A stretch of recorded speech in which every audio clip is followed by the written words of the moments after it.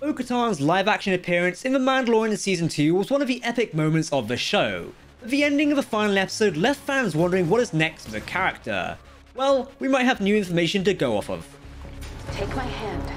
Greetings my young Padawans, my name is Captain Jack and welcome to Star Wars Now. Today we're talking about the upcoming Mandalorian Season 3, which is about to go into filming and release next year. With this, we know that it's likely that Katee Sackhoff will be returning as Bo-Katan Kryze, even if it's not officially confirmed by Lucasfilm and Disney. Thanks to a new interview, Katee has spoken more about what her character might be doing in the upcoming season. Before we jump into the video, use the force and hit that subscribe and like button to never miss a video from myself and the team here at Star Wars Now. As always, if you're talking about Star Wars, then we want to hear about it. SlashFilm spoke to Katee Sackhoff about Bo-Katan's future during the interview with her, all about the upcoming Night of the Animated Dead film. Katee kept most of her Lucasfilm secrets close to her chest, but does tease that her ass-kicking Mandalorian Bo-Katan will of course be back in the next season.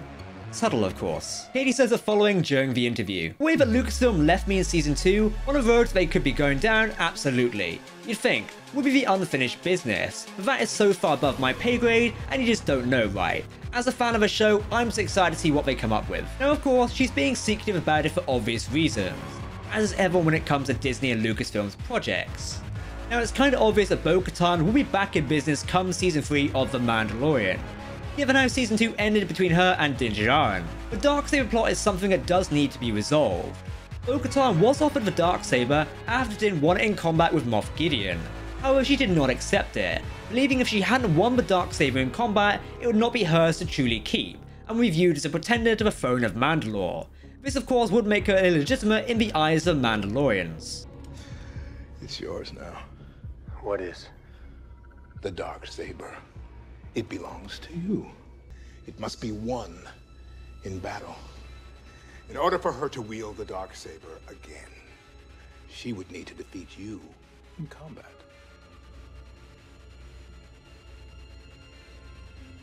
He's right. During the interview, Katee spoke about her character's relationship with Ahsoka Tano, or rather the untold relationship. Given Ahsoka is getting her own series soon, it's something that might be explored.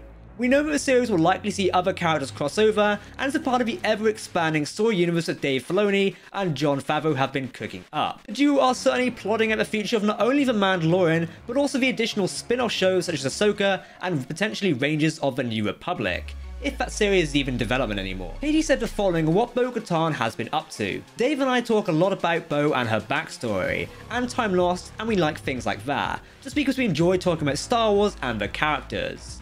I definitely know a lot about who she is, and where she's been, and what's happened. So yeah, I knew that kind of stuff for sure. Now, whether we'll see further expansion of Bo's backstory will remain to be seen. Given a quest to eventually get the Darksaber back, and likely return to ruling over Mandalore, it might be something we see. How she lost the Darksaber in the first place would be something to look at, and it would not surprise me if we saw further flashback scenes in the upcoming third season. Of course, we've also got the Book of Boba Fett coming out later this year. I'd say it's unlikely we'll see Bo-Katan appear in that series, but it depends at what point the story is set and when it takes place. Thinking more about Season 3, we know very little about it. We virtually know nothing about the plot itself and where it'll take Din Djarin and if we'll even see Grogu again. Given his departure of Jedi Knight Luke Skywalker at the end of Season 2. How will Bo-Katan fit into the story? As mentioned, it's obvious she is returning really. Personally, I can see Season 3 featuring a return to Mandalore, now that the Darksaber is actually back in the hands of a true Mandalorian. They can reunite their people and perhaps claim back the long lost planet, after what the Empire did to it. Though, Din himself perceives Mandalore as a cursed planet, even stating that to Bo herself. Once we've done that, we'll seat any Mandalore on the throne. That planet is cursed. Anyone who goes there dies. Once the Empire knew they couldn't control it, they made sure no one else could either. Don't believe everything you hear. Our enemies want to separate us. But Mandalorians are stronger together. It could be helpful in your effort to regain Mandalore.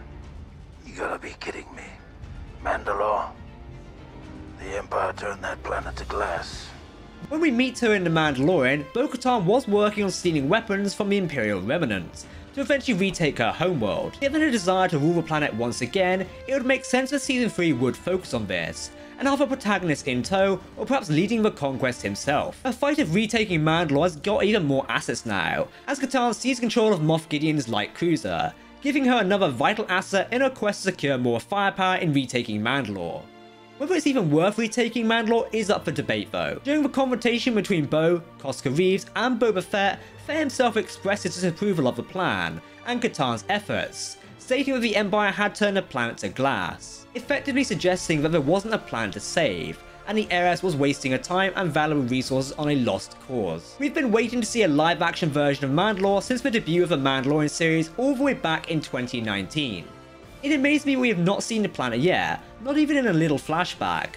Though, as we've learned, if a planet is deemed cursed or lost, it could use further story development before we see it, which would explain Season 1 and 2's absence of the planet. I could see Season 3 opening with some sort of tense relationship or even a standoff between Bo-Katan and Din Djarin.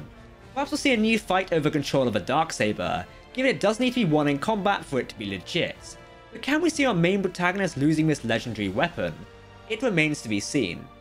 Dave Filoni and Jon Favreau will need to find some way to resolve this confrontation storyline, and put Bo-Katan back on track to retaking Mandalore. I'm hoping we do see this story element within Season 3, but it does remain to be seen. We're going to need to wait some time before we see Season 3 of The Mandalorian. With only starting production later this month, Lucasfilm's pipeline of content is rather stocked right now, given we've got the Book of Boba Fett, which is being touted as The Mandalorian Season 2.5, along with Obi-Wan Kenobi, Andor, and Ahsoka all in production. Basically, don't expect The Mandalorian Season 3 until 2022.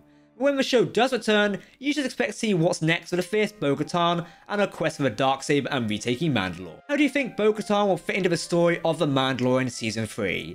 Do you think we'll fight Din to reclaim a Darksaber, or perhaps fall into a different role? It remains to be seen as of yet. Don't forget to hit that subscribe button to keep up to date with all the latest Star Wars news, lore, and more. You can also follow us on social media as well. Make sure to let us know what you think in the video comment section below, because if you're talking about Star Wars, then of course we want to hear about it. That's it for myself today on Star Wars Now. I've been Captain Jack, and we'll be seeing you next time. May the Force be with you.